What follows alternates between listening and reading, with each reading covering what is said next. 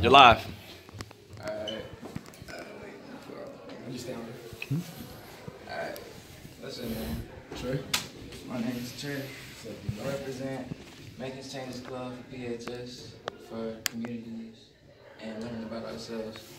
So I'm gonna ask you a couple questions in this interview. You good with that? Yeah. Alright. First question. What characteristics make a guy cool? Hmm.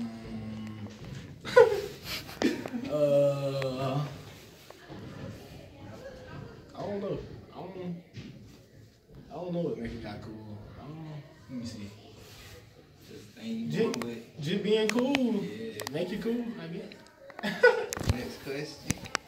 Would you rather have a girl that is fine but with a nasty attitude and personality, or a girl that looks alright but has a great attitude and great personality, and why?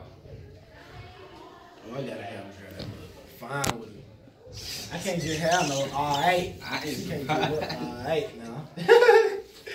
she gotta she gotta be she gotta be fine. She can't just be straight. Yeah. He said, and why? Huh?